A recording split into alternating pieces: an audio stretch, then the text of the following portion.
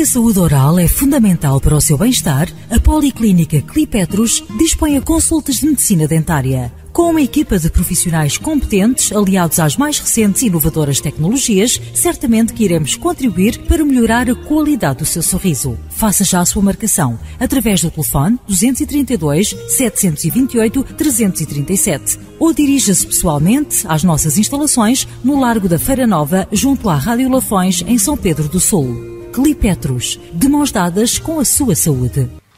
Olá, viva, muito bom dia, sejam bem-vindos a mais uma edição do Espaço Saúde aqui na Rádio Lafões, que como sempre conta com o patrocínio da Policlínica Clipetros no Largo da Feira Nova em São Pedro do Sul. Bom dia também, enfermeira Beatriz, hoje vem falar-nos de asma, certo? Olá, bom dia. Sim, hoje venho falar de asma. Esta é uma doença inflamatória das vias aéreas caracterizada pelo estreitamento dos brônquios, de que resulta a sensação de dificuldade respiratória e de pieira. E como acontece esta doença? Bem, o aparelho respiratório está constantemente exposto a agentes irritantes, como as bactérias, os vírus, poeiras, poluição. Para nos defendermos destas agressões externas, o pulmão dispõe de vários mecanismos, entre os quais o nosso sistema imunitário.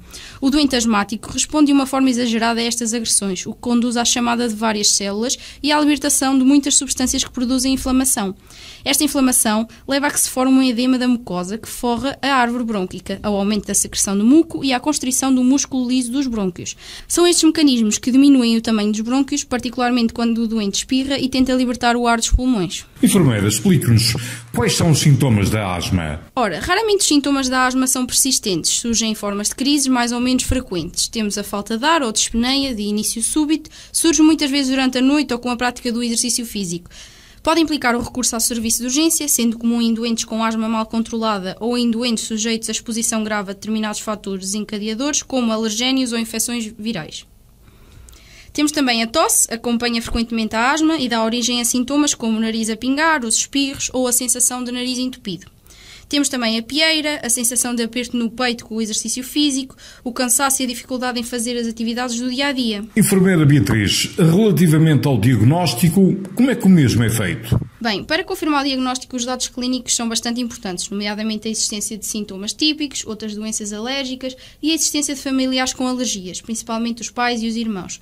E são então realizados vários exames. Um deles é a espirometria, que é um exame à função pulmonar, que é bastante importante não só na confirmação do diagnóstico, mas também para controlar a evolução da doença e avaliar a resposta em determinada medicação. Temos também os testes cutâneos, são úteis quando há suspeita de que a asma é desencadeada pela inalação de alguns alergénios. E temos também radiografia e análise ao sangue. Radiografia ao tórax e análise ao sangue.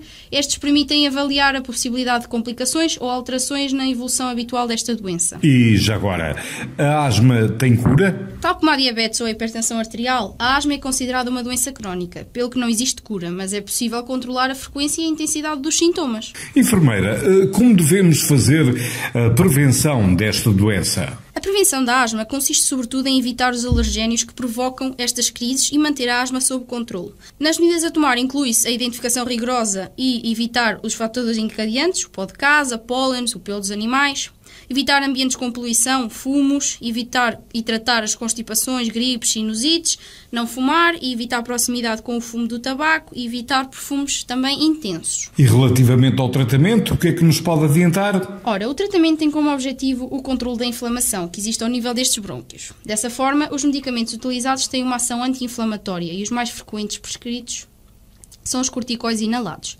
Também podem ser utilizados antagonistas dos leucotrienos que exercem o mesmo efeito. A qualquer destes dois tipos de fármacos é útil juntar um broncodilatador. Tendo em conta que a asma é uma doença crónica, a terapêutica deve ser feita diariamente. É também importante acompanhar outras patologias que possam eventualmente coexistir, tal como a rinite alérgica. Numa situação de crise de dificuldade respiratória, é necessário que a criança ou o adulto inicie de imediato o esquema terapêutico de urgência prescrito pelo seu médico. Caso a terapêutica seja cumprida e a asma esteja controlada, a pessoa com asma pode e deve fazer exercício físico. Ainda assim, pode ser necessário fazer o broncodilatador antes de o exercício. Este deve ser adaptado, devendo a aula começar por corridas rápidas e curtas, não por uma corrida prolongada.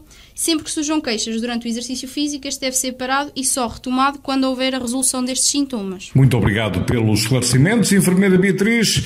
Bom fim de semana e até uma próxima oportunidade. Muito obrigada. Em meu nome e em nome da Clipetos, desejo a todos um excelente fim de semana. Senhores ouvintes, chegamos ao final de mais um Espaço Saúde aqui na Rádio Lofões. Desejo-lhe a continuação de um excelente fim de semana e até ao próximo sábado. Fique bem, fique na nossa companhia. O Espaço Saúde, já sabe, conta com o patrocínio da Policlínica Clipetros, aqui no Largo da Feira Nova, em São Pedro do Sul. Porque a saúde oral é fundamental para o seu bem-estar, a Policlínica Clipetros dispõe a consultas de medicina dentária. Com uma equipa de profissionais competentes, aliados às mais recentes e inovadoras tecnologias, certamente que iremos contribuir para melhorar a qualidade do seu sorriso. Faça já a sua marcação através do telefone 232 728 337 ou dirija-se pessoalmente às nossas instalações no Largo da Feira Nova, junto à Rádio Lafões, em São Pedro do Sul. Clipetros, de mãos dadas com a sua saúde.